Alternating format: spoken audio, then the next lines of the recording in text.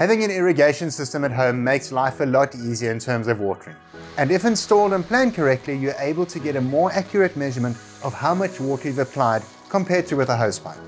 However, as easy as a basic system is to install, they do require a bit of maintenance, both preventative as well as reactive as time goes by. Let's have a look at some of the common maintenance issues.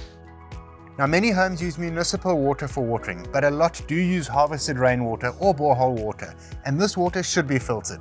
Unfortunately, filters do need replacing, and if your filters are looking like this, then it's time to replace them.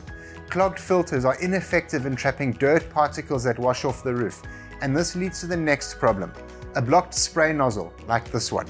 Cleaning them is really easy. Simply turn on your irrigation system and remove the blocked nozzle. This will tell you immediately if the blockage is within the nozzle or in the thin PVC tube. Here we can see that the water flows quite well, so the blockage is in the nozzle.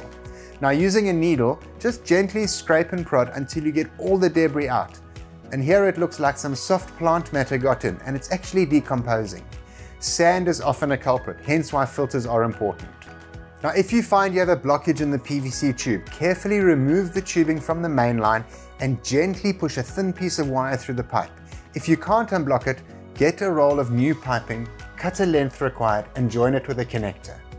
Now pipes do burst or fall victims to garden forks and spades. Yes, I've done it. Repairs are really simple. Just cut the pipe as close as you can to the hole and join it using a straight coupler like so. This is a push-on fitting. Care should also be taken with weed eaters and lawnmowers as these can cut and damage the piping. Hence why buried pipes do have an advantage. In fact, there's a bunch of clips with links in the description below that all form part of an irrigation series, including how to install a basic system if you don't have one already. Now builders have a wide range of irrigation and gardening supplies to get your garden in top condition, both in-store and online at builders.co.za. For more videos like this, check out the blog on the website. Get to Builders, get it done.